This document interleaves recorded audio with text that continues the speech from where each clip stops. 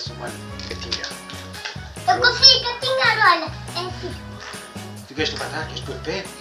Isso, boa! Vês, eu sou grande do que tu, mano. O Diniz ainda não, não gatinha, isto porque ele ainda não tem força na, na, nas, nos braços. Eu penso que é mais nos braços para, para, se, para começar a gatinhar. As pernas ele já as dobra bem e segura bem no, no, na posição de gatinhar, mas os braços ele ainda não tem força suficiente, apesar do humano insistir durante, durante vários dias, é sempre ao fim do dia, quando vem para casa. O Miguel insiste muitas vezes para ele começar a gatinhar, mas ele não. Ele até diz: Ah, mano, os bebés gatinhos, os bebés gatinhos, tens de gatinhar. Mas ele não.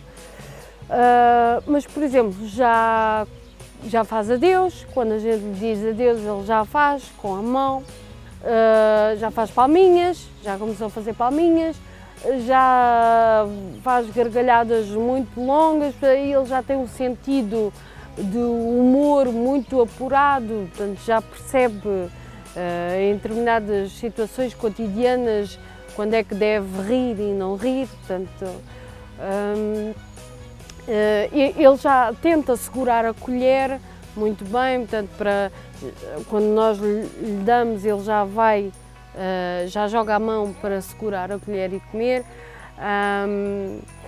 É, é, é, um facto que ele tem estado muito doente e, portanto, tem estado quase sempre em casa, mas nos poucos dias que foi à escola, eu penso que isso ajudou também uh, Diniz desenvolver eh, estas uh, capacidades.